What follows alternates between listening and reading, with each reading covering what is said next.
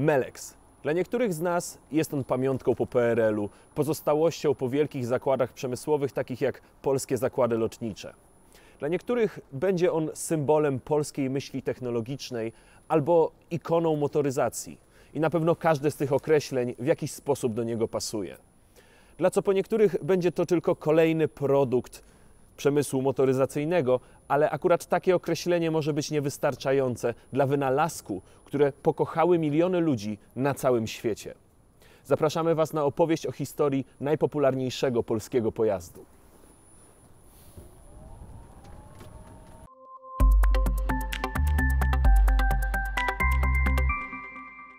Historia Meleksa ma swój początek w 1971 roku, wewnątrz jednego z państwowych zakładów produkcyjnych na Podkarpaciu, a dokładnie w Mielcu. To właśnie tam utworzyła się wówczas pierwsza w Polsce fabryka produkująca pojazdy elektryczne. Wykorzystano do tego celu istniejącą już wtedy halę do produkcji samolotów. Tworzeniem pojazdów elektrycznych zajęła się wytwórnia sprzętu komunikacyjnego PZL Mielec. W 1993 roku za sprawą podziału i prywatyzacji wytwórni Melex zaczął funkcjonować jako osobne przedsiębiorstwo. A dekadę później, 1 września 2004 roku, został wreszcie wykupiony przez Andrzeja i Dorotę Tyszkiewiczów i zaczął funkcjonować jako spółka. Firma o oficjalnej nazwie Melex AD Tyszkiewicz. Melex jest obecnie jednym z najdłużej działających producentów pojazdów elektrycznych na świecie. Musicie przyznać, że brzmi to imponująco, a jeszcze bardziej imponujący jest fakt, że te niepozorne pojazdy już w latach 80 pokochał niemal cały świat zachodni. To był hit. Przez lata nasz największy towar eksportowy, jak Robert Lewandowski, jak Gra Wiedźmin. Wszyscy chcieli mieć w swoim mieście flotę pojazdów z Podkarpacia. Melex stał się wówczas synonimem wszystkich pojazdów tego typu. Jest tak do teraz. Można śmiało powiedzieć, że Melexy wśród samochodów elektrycznych to takie Adidasy wśród butów sportowych. Mimo tak dużej popularności marki, większość Polaków nawet nie zdaje sobie sprawy, że pochodzi ona właśnie z Polski. Być może dlatego, że dziś często kojarzy się Melexy z Ameryką, w której biją one rekordy popularności. Co ciekawe, za granicą świadomość Melexów jako polskiej marki jest za to bardzo wysoka. Mówiąc o Melexie, nie można pominąć jeszcze jednej, szalenie istotnej kwestii. A mianowicie tego, że to właśnie te pojazdy były pierwszymi produkowanymi na skalę światową z fabrycznymi instalacjami elektrycznymi, zamiast silników spalinowych. Można więc powiedzieć, że fabryka z Mielca stosowała technologię, która obecnie staje się jednym z głównych kierunków rozwoju dla całej motoryzacji. Również ta sama firma jako pierwsza wprowadziła masowo pojazdy dedykowane na pola golfowe. Taki pomysł szczególnie spodobał się właśnie wspomnianym Amerykanom. Dzięki temu w latach 90. Melex eksportował do USA nawet do 10 tysięcy pojazdów rocznie. Zależności od przeznaczenia oraz rynku, na który miał trafić, pojazd różnił się jednak znacznie od pierwotnej wersji. Wygląd i przeznaczenie Melexów zmieniało się na przestrzeni lat, wraz z rozwojem cywilizacyjnym i otwieraniem się nowych okazji biznesowych. Początkowo do 1973 roku pojazdy produkowane były w wersji wózków golfowych na trzech kołach.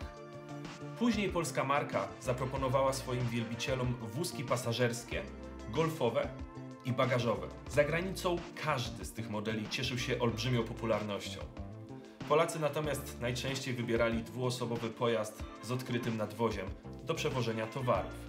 I choć samochód sam w sobie wygląda dość niepozornie, w wariancie Melex WGE3 mógł przewozić nawet do 150 kg ładunku. Na obecne czasy może się to wydawać niewiele, ale biorąc pod uwagę, że były to pierwsze pojazdy elektryczne, na pewno robiły niesamowite wrażenie. Z czasem marka zaczęła wypuszczać na rynek modele pojazdów z zakrytą kabiną.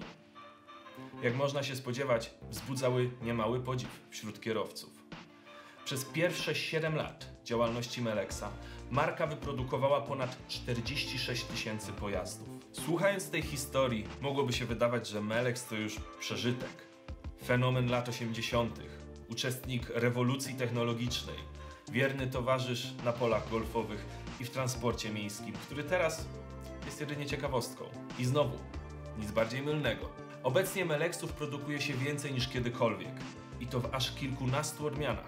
Chociaż większość z nas zapewne kojarzy je jako formę atrakcji dla turystów, mają dalej zastosowanie w transporcie czy rozrywce, a czasami bywa nawet tak, że niektórzy udają się nimi w swoją ostatnią podróż, ponieważ coraz więcej zakładów pogrzebowych wykorzystuje właśnie Meleksy jako karawany. Podobnie jak wszystkie inne pojazdy elektryczne, przeżywają obecnie olbrzymi boom, służąc w najbardziej rozwojowych branżach jak logistyka, a w fabrykach wciąż produkuje się coraz to nowsze modele, wyposażone w nowoczesne usprawnienia. Ciche, schludne i sprawdzone przez lata pojazdy mają wielu zwolenników. Meleksy to przede wszystkim porządne auta robocze.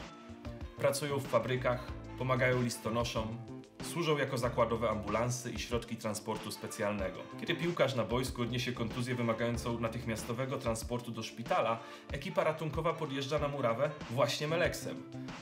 To te polskie autka pracują na lotniskach, rozwożąc osoby z obsługi oraz bagaże. Przydają się także do serwisu samolotów. Szczególnie dedykowany temu zajęciu model służy na większości europejskich lotnisk. Co ciekawe, dziś 60% produkowanych Meleksów trafia na rynki zagraniczne. Pozostałe 40% pojazdów firma z Mielca sprzedaje na rynku krajowym. Z uwagi na początki historii Meleksów, popularność tych pojazdów za granicą raczej nie powinna zadziwiać. Nadal w bardzo wielu krajach Meleks uważany jest za niezawodny, ekologiczny i trwały środek transportu. U nas też. Ale ważne, żeby dodatkowo zdawać sobie sprawę, że to nie tylko świetny pojazd, ale i nasza krajowa duma. To wszystko na temat Meleksów, a my widzimy się w następnym odcinku, w którym porozmawiamy o kolejnym polskim wynalazku.